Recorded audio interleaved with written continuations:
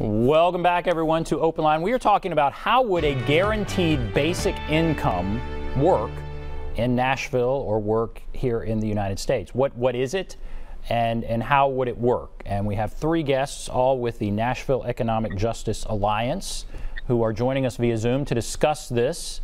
Um, and we're going to start taking calls. We kind of set the table with the first uh, part of the show here, and let's just go to the phones now. Let's go to Ron.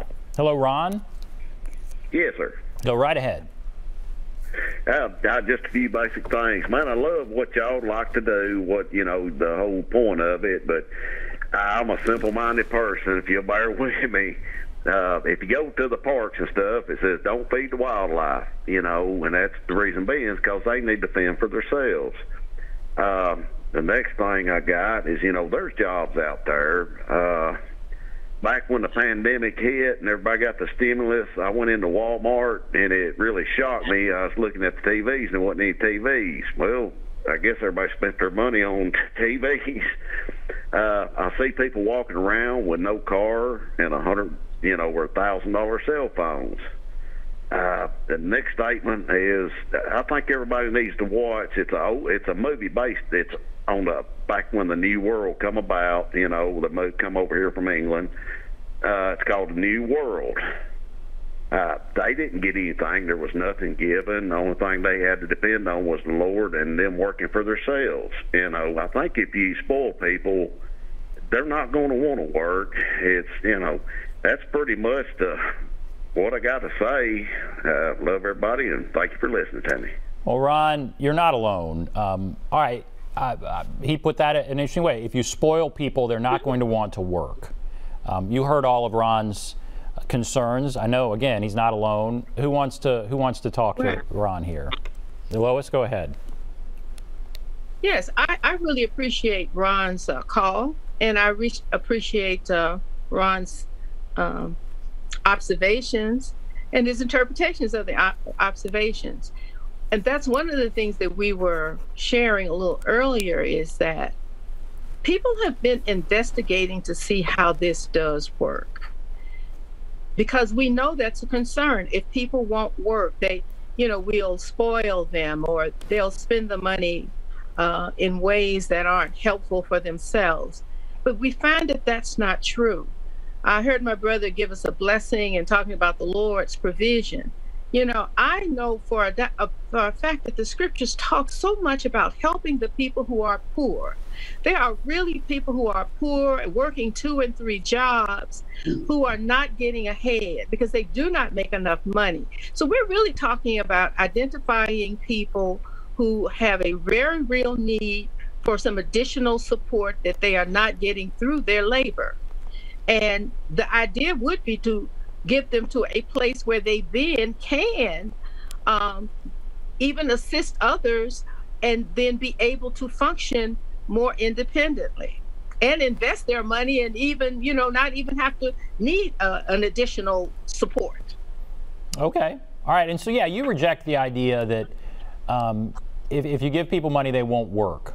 You you, you feel like um, maybe it gives them more freedom to go out and find a, a job they want to do or, or, something to that effect. But but what about that concern? Now you name. Yeah. Yeah, and I thought it's. No, I'm sorry. I think it's wonderful you actually said that because you find out a lot of people have what we call a job, that they actually hate. It's a drudgery. Sometimes it's a form of slavery. And if people even had a little bit more freedom, then they could literally create their own businesses. I think the thing I would speak to now is we have to be very careful about the stereotypes. That's how we get into the isms. You know, all people are like this, poor people are like this, black people are like this, white people are like this. With that, so I think we need to investigate investigate that type of thinking and be open to what we're learning that doesn't fit those models and in this case, we know people do not, there are a lot of people who do not have enough livelihood to support their families. And we want to offer something that can help the poor as the scriptures speak to.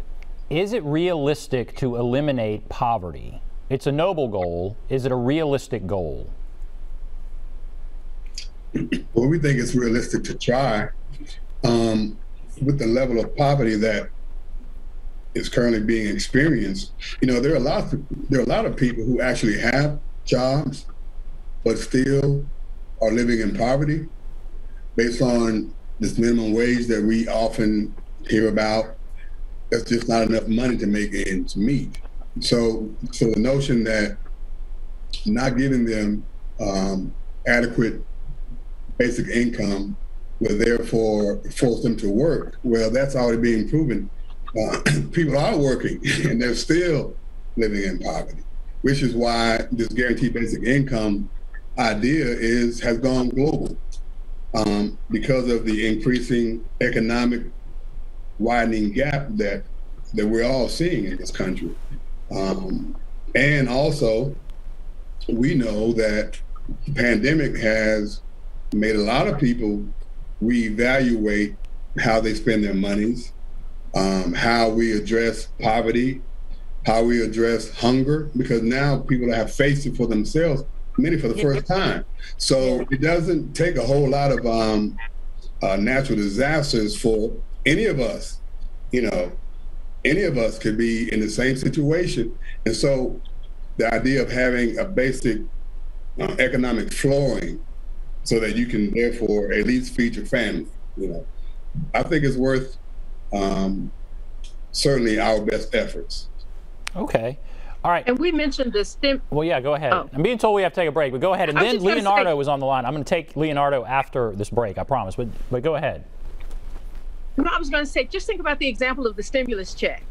I don't, maybe a few people have rejected it, but the whole notion is that we all have been impacted by something that has caused our incomes to be less. And when I say everybody, that didn't true, get true for some people, but nobody's, we're not complaining about that. The point is we're helping those who need it.